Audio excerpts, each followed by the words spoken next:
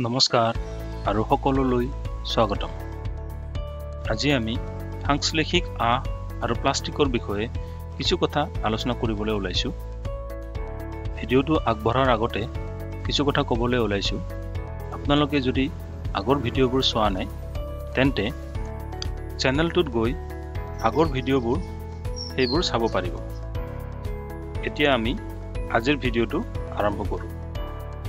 আমি সকলোৱে সাংশ্লেষিক আঁহ আৰু প্লাষ্টিকৰ বিষয়ে জানো আৰু আমাৰ দৈনন্দিন জীৱনত ইয়াক ব্যৱহাৰ কৰি আহিছোঁ। এই পাঠটোত আমি সাংশ্লেষিক আঁহবোৰনো কি? সেই বিষয়ে জানিম। লগতে সাংশ্লেষিক আঁহবোৰৰ প্ৰকাৰ আৰু ইয়াৰ বৈশিষ্ট্যৰ বিষয়ে কিছু কথা আলোচনা কৰিম। লগতে পৰিৱেশৰ ওপৰত প্লাষ্টিকৰ কি প্ৰভাৱ তাৰ বিষয়ে অধ্যয়ন কৰিম। আমি সকলোৱে জানো যে সাজ পোছাক যিবোৰ আমি পিন্ধো সেইবোৰ কাপোৰৰে প্ৰস্তুত কৰা হয়। কাপোৰ বনোৱা আঁহবোৰ প্ৰাকৃতিক আৰু কৃত্ৰিম উৎসৰ পৰা পোৱা যায়। তোমালোকে নিশ্চয় কিছুমান কৃত্ৰিম প্ৰাকৃতিক আঁহৰ নাম জানা। বহুবিধ ঘৰুৱা বস্তু বনাওঁতেও আঁহ ব্যৱহাৰ কৰা হয়। আঁহেৰে বনোৱা কিছুমান সাধাৰণ বস্তুৰ এখন তালিকা প্ৰস্তুত কৰিব পাৰিবানে? এইবোৰক প্ৰাকৃতিক আঁহেৰে বনোৱা আৰু কৃত্ৰিম আঁহেৰে বনোৱা হিচাপে পৃথক কৰিবা। তোমালোকে কিছুমান আঁহক কিয় কৃত্ৰিম বুলি পৃথক কৰিলা ক'ব পাৰিবানে? তোমালোকে আগৰ শ্ৰেণীসমূহত পঢ়ি আহিছা যে কপাহ গুণ পাত আদিৰ নিচিনা আঁহবোৰক উদ্ভিদ বা প্ৰাণীৰ পৰা পোৱা যায়। আনহাতে সাংশ্লেষিক আঁহবোৰক মানুহে প্ৰস্তুত কৰে। সেইকাৰণে এইবোৰক সাংশ্লেষিক বা মানৱসৃষ্ট আঁহ বুলি কোৱা হয়। এতিয়া আমি সাংশ্লেষিক আঁহবোৰনো কি তাৰ বিষয়ে অধ্যয়ন কৰোঁ আহা। সূতাত মণিগাঁঠি পোৱা ডিঙিৰ হাৰ এডাল একেৰূপ চানেকি এটা মনত পেলাবলৈ চেষ্টা কৰাচোন। নাইবা কিছুমান কাগজত মৰা ক্লিপ একেলগে লগ লগাই এডাল দীঘল শৃংখল বনাবলৈ চেষ্টা কৰা। দুয়োটাৰ মাজত কিবা সাদৃশ্য দেখিছানে? এটা কৃত্ৰিম আঁহ হৈছে একেলগে লগ লগোৱা সৰু সৰু গোটৰ শৃংখল। প্ৰতিটো সৰু একক আচলতে এক একোটা ৰাসায়নিক পদাৰ্থ।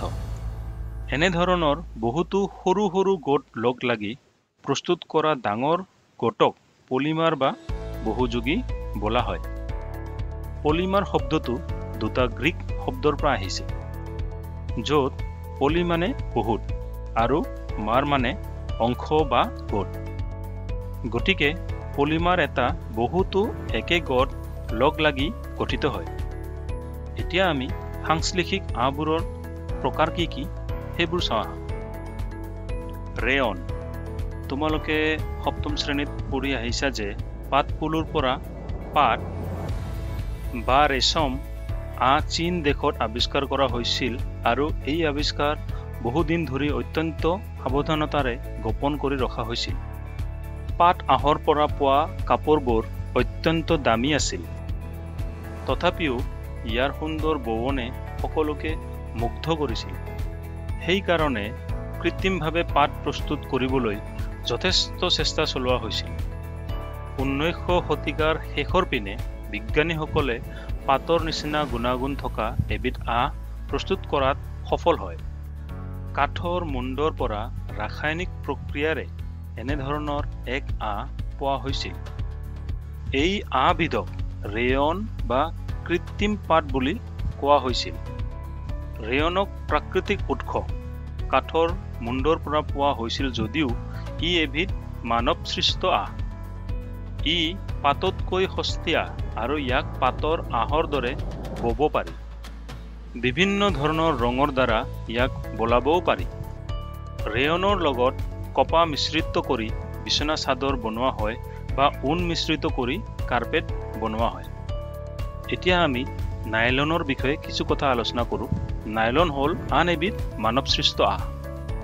ঊনৈছশ একত্ৰিছ চনত কোনো প্ৰাকৃতিক কেঁচা মাল উদ্ভিদ বা প্ৰাণীৰ পৰা ব্যৱহাৰ নকৰাকৈ ইয়াক প্ৰস্তুত কৰা হৈছিল। কয়লা পানী আৰু বায়ুৰ পৰা ইয়াক প্ৰস্তুত কৰা হৈছিল। ই আছিল প্ৰথম সম্পূৰ্ণ সাংশ্লেষিক আঁহ। নাইলনৰ আঁহবোৰ মজবুত নমনীয় আৰু পাতল আছিল। নাইলনৰ আঁহবোৰ উজ্জ্বল আৰু ধুবলৈ সহজ আছিল। গতিকে সাজ পোছাক তৈয়াৰ কৰাত ই বৰ জনপ্ৰিয় হৈছিল।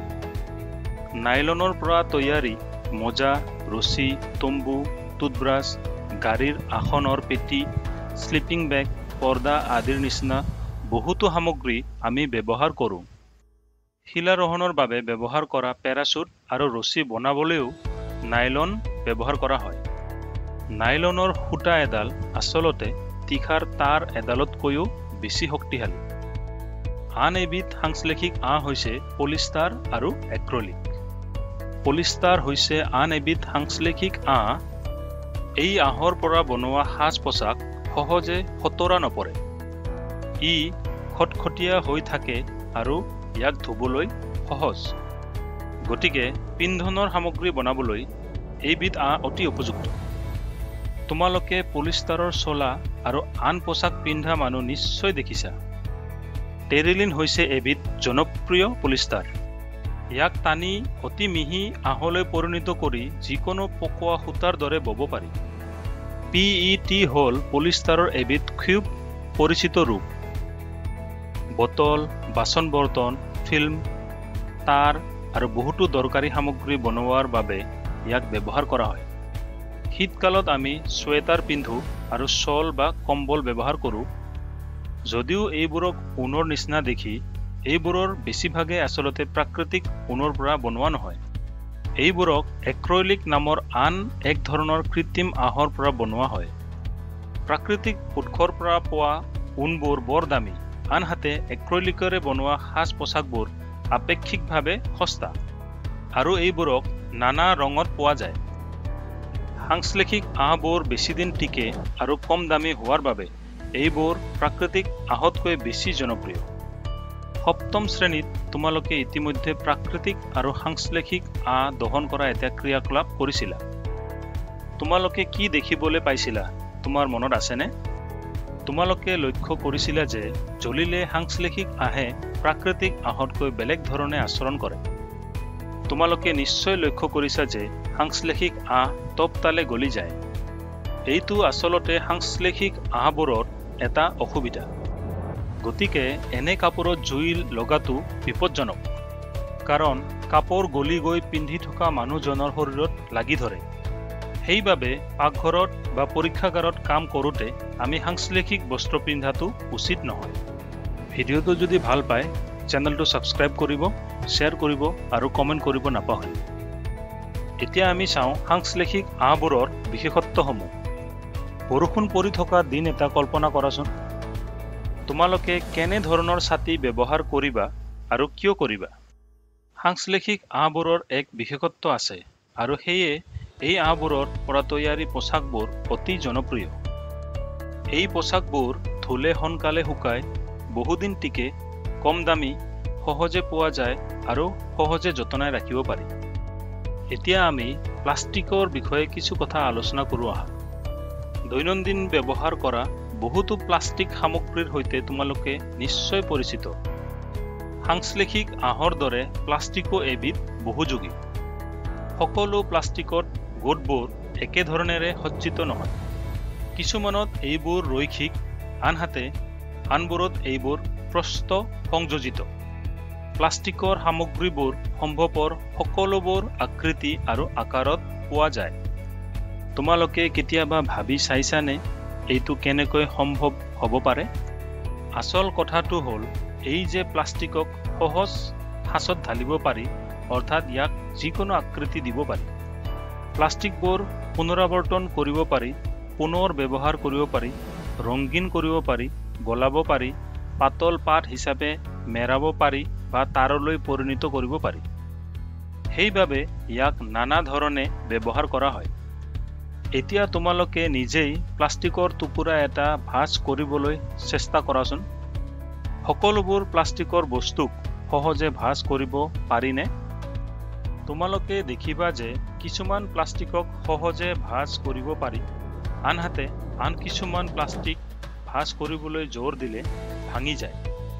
প্লাষ্টিকৰ বটলত গৰম পানী ঢালিলে বটলটো বিকৃত হয়। এনেবোৰ প্লাষ্টিক যিবোৰ তপতালে সহজে বিকৃত হয় আৰু সহজে ভাজ কৰিব পাৰি তেনে প্লাষ্টিকবোৰক থাৰ্মোপ্লাষ্টিক বা তাপ নমনীয় প্লাষ্টিক বুলি কোৱা হয়। পলিথিন আৰু পি ভি চি হৈছে থাৰ্মোপ্লাষ্টিকৰ উদাহৰণ। এইবোৰক খেলনা ফণী আৰু নানান ধৰণৰ পাত্ৰ উৎপাদন কৰাত ব্যৱহাৰ কৰা হয়। আনহাতে এনে কিছুমান প্লাষ্টিক আছে যিবোৰক এবাৰ আকৃতি দিয়াৰ পাছত পুনৰ তপতালেও কমলাব নোৱাৰি এইবোৰক থাৰ্মোচেটিং প্লাষ্টিক বা তাপ দৃঢ় প্লাষ্টিক বেকেলাইট আৰু মেলামাইন হৈছে ইয়াৰ দুটা উদাহৰণ। বেকেলাইট তাপ আৰু বিদ্যুতৰ কুপৰিবাহী বৈদ্যুতিক ছুইচ বিভিন্ন বাচন বৰ্তনৰ নাল আদি বনাবলৈ ইয়াক ব্যৱহাৰ কৰা হয়। মেলামাইন এবিধ বহুতো গুণ থকা পদাৰ্থ। ই অগ্নি ৰোধ কৰে আৰু আন প্লাষ্টিকতকৈ ই অধিক ভালদৰে তাপ সহ্য কৰিব পাৰে। মজিয়াৰ টাইলছ ৰন্ধনশালাৰ সা সৰঞ্জাম আৰু অগ্নি প্ৰতিৰোধী কাপোৰ প্ৰস্তুত কৰিবলৈ ইয়াক ব্যৱহাৰ কৰা হয়। পচন্দৰ পদাৰ্থ হিচাপে প্লাষ্টিক। আজিকালি খাদ্যবস্তু পানী গাখীৰ আচাৰ শুকান খাদ্য আদি সংৰক্ষণ কৰি ৰখাৰ কথা যদি চিন্তা কৰোঁ তেন্তে প্লাষ্টিকৰ পাত্ৰকে আটাইতকৈ বেছি সুবিধাজনক যেন লাগে। ইয়াৰ কাৰণ হ'ল এই পাত্ৰবোৰ কম ওজনৰ কম দামৰ মজবুত আৰু এইবোৰক ব্যৱহাৰ কৰাটো সহজ। ধাতুৰ তুলনাত পাতল হোৱা বাবে প্লাষ্টিকক গাড়ী আকাশীয়ান আৰু অন্তৰীক্ষয়ানতো ব্যৱহাৰ কৰা হয়। ছাতি জোতাৰ পৰা ঘৰৰ আচবাব ঘৰ সজোৱা বিভিন্ন সামগ্ৰীলৈ গণনা কৰিলে এখন অন্তহীন তালিকা পোৱা যাব। এতিয়া প্লাষ্টিকৰ বৈশিষ্ট্যমূলক গুণ বা ধৰ্মবোৰ আলোচনা কৰোঁ আহা। প্লাষ্টিকবোৰ অবিক্ৰিয়ক পদাৰ্থ। তোমালোকে জানা যে লৰ নিচিনা ধাতু জলীয় ভাস্প আৰু বায়ুত উন্মুক্ত কৰি ৰাখিলে এইবোৰত মামৰে ধৰে। কিন্তু প্লাষ্টিকে পানী আৰু বায়ুৰ লগত বিক্ৰিয়া নকৰে। ই সহজে ক্ষয়ো নাযায়। সেইকাৰণে বহুতো ৰাসায়নিক দ্ৰব্যৰ উপৰিও বিভিন্ন ধৰণৰ পদাৰ্থ গোটাই থবৰ বাবে প্লাষ্টিকক ব্যৱহাৰ কৰা হয়। প্লাষ্টিকবোৰ পাতল দৃঢ় আৰু দীৰ্ঘস্থায়ী। আগৰ দিনত ব্যৱহাৰ হোৱা বাল্টিৰ বিষয়ে তোমালোকৰ মা দেউতা বা ককা আইতাৰ লগত কথা পাতা। তোমালোকে আজিকালি ব্যৱহাৰ কৰা বাল্টি বা মগসমূহৰ পদাৰ্থবোৰ কি? প্লাষ্টিকৰ পাত্ৰ এটা ব্যৱহাৰ কৰাৰ সুবিধাবোৰ কি? যিহেতু প্লাষ্টিকবোৰ বৰ পাতল শক্তিশালী ইয়াৰ স্থায়িত্ব বেছি আৰু ইয়াৰ সাঁচত দি বিভিন্ন আকৃতি আৰু আকাৰলৈ ৰূপান্তৰ কৰিব পাৰি সেইবাবে ইয়াক নানান কামত ব্যৱহাৰ কৰা হয়। প্লাষ্টিকবোৰ সাধাৰণতে ধাতুতকৈ সস্তা। বিভিন্ন উদ্যোগত আৰু ঘৰুৱা সামগ্ৰী প্ৰস্তুতিত প্লাষ্টিকক বহুলভাৱে ব্যৱহাৰ কৰা হয়। প্লাষ্টিকসমূহ সুপৰিবাহী। তোমালোকে ইতিমধ্যে শিকি আহিছা যে প্লাষ্টিকসমূহ তাপ আৰু বিদ্যুতৰ সুপৰিবাহী। সেইকাৰণেই বৈদ্যুতিক তাঁৰৰ ওপৰত প্লাষ্টিকৰ আৱৰণ থাকে আৰু স্ক্ৰুড্ৰাইভাৰবোৰৰ নালটো প্লাষ্টিকৰে নিৰ্মিত। উক্ত কাৰণতে কেৰাহী টাৱা আদিৰ নালবোৰো প্লাষ্টিকৰে নিৰ্মিত। প্লাষ্টিক আৰু পৰিৱেশ। আমি যেতিয়া বজাৰলৈ যাওঁ, তেতিয়া সচৰাচৰ আমি বস্তুবোৰ প্লাষ্টিকেৰে মেৰিয়াই থোৱা বা পলিথিন মোনাত ভৰাই থোৱা পাওঁ। আমাৰ ঘৰবোৰত প্লাষ্টিক আৱৰ্জনাবোৰ জমা হৈ ডাঙৰ দম হৈ পৰা ইও এটা কাৰণ। শেষত এই প্লাষ্টিকবোৰ আৱৰ্জনা হিচাপে স্থান পায়। প্লাষ্টিকৰ নিষ্পত্তিকৰণ এটা গুৰুত্বৰ সমস্যা। কিয় বাৰু জানানে? বেক্টেৰিয়াৰ ক্ৰিয়া প্ৰক্ৰিয়াৰ দৰে প্ৰাকৃতিক প্ৰক্ৰিয়াৰে পচি যোৱা পদাৰ্থবোৰক জৈৱ পচনশীল পদাৰ্থ বোলা হয়। আনহাতে যিবোৰ পদাৰ্থ প্ৰাকৃতিক ক্ৰিয়া প্ৰক্ৰিয়াৰ দ্বাৰা সহজে পচি নাযায় সেইবোৰক জৈৱ অপচনশীল পদাৰ্থ বোলা হয়। প্লাষ্টিক পচিবলৈ যিহেতু বহুত বছৰ লাগে সেয়ে ই পৰিৱেশ হিতৈষী নহয়। ই পৰিৱেশ প্ৰদূষণ কৰে। ইয়াৰ উপৰিও সাংশ্লেষিক পদাৰ্থৰ দহন প্ৰক্ৰিয়া খুবেই লেহেম গতিত হয় আৰু ই সম্পূৰ্ণৰূপে পুৰি নাযায়। দহন প্ৰক্ৰিয়াত প্লাষ্টিকে বায়ুমণ্ডললৈ বহুতো বিষাক্ত ধোঁৱা এৰি দি বায়ুৰ প্ৰদূষণ ঘটায়। এই সমস্যাটো কিদৰে সমাধান কৰিব পাৰি? যিমান সম্ভৱ প্লাষ্টিকৰ ব্যৱহাৰ এৰাই চলিবা।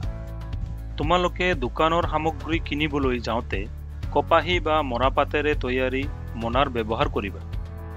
জৈৱ পচনশীল আৰু জৈৱ অপচনশীল আৱৰ্জনাবোৰ পৃথক পৃথককৈ সংগ্ৰহ কৰি পৃথক পৃথককৈ পেলোৱা উচিত। তোমালোকে ঘৰতে এইটো অভ্যাস কৰা। তোমালোকে আন কিছুমান উপায় দিব পাৰিবানে যাৰ দ্বাৰা প্লাষ্টিকৰ ব্যৱহাৰ হ্ৰাস কৰাত সহায় হয়? প্লাষ্টিকৰ আৱৰ্জনাবোৰ পুনৰাৱৰ্তন কৰাটো অতি প্ৰয়োজনীয়। তাপ নমনীয় প্লাষ্টিকৰ প্ৰায়বোৰকে পুনৰাৱৰ্তন কৰিব পাৰি। পুনৰাৱৰ্তন কৰিব পৰা সামগ্ৰীৰ কিছুমান এখন তালিকা প্ৰস্তুত কৰা। প্লাষ্টিকৰ পুনৰাৱৰ্তনৰ সময়ত অৱশ্যে নিৰ্দিষ্ট কিছুমান ৰং যোগ কৰা হয়। এই কাৰণে খাদ্য সংৰক্ষণৰ ক্ষেত্ৰত এই ধৰণৰ প্লাষ্টিকৰ ব্যৱহাৰ সীমিত হৈ পৰে। দেশৰ একগৰাকী দায়িত্বশীল নাগৰিক হিচাপে তোমালোকে চাৰি আৰ নীতিটো মনত ৰাখিবা। সেইটো হৈছে হ্ৰাস কৰা বা ৰিডিউচ পুনৰ ব্যৱহাৰ কৰা বা ৰিইউজ পুনৰাৱৰ্তন কৰা বা ৰিচাইকেল আৰু পুনৰুদ্ধাৰ কৰা। এইটো হৈছে ৰিকাভাৰ পৰিৱেশ হিতৈষী হ'বলৈ চেষ্টা কৰা। ভিডিঅ'টো যদি ভাল পাইছে চেনেলটো ছাবস্ক্ৰাইব কৰিব আৰু লগতে বেল নটিফিকেশ্যনটো অন কৰিব যাতে আগৰ ভিডিঅ'বিলাক পাই থাকে। ধন্যবাদ।